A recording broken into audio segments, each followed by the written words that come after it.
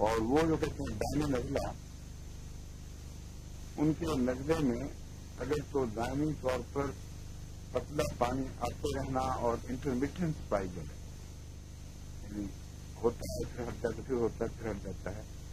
उसके इलाज में तो इन्फ्लुएंजिनम वगैरह और इस किस्म की दवाएँ जो एलर्जी की दूर करने वाली हों, वो ज़्यादा मुफीद है। इसमें इंटरमीडियंस नहीं है।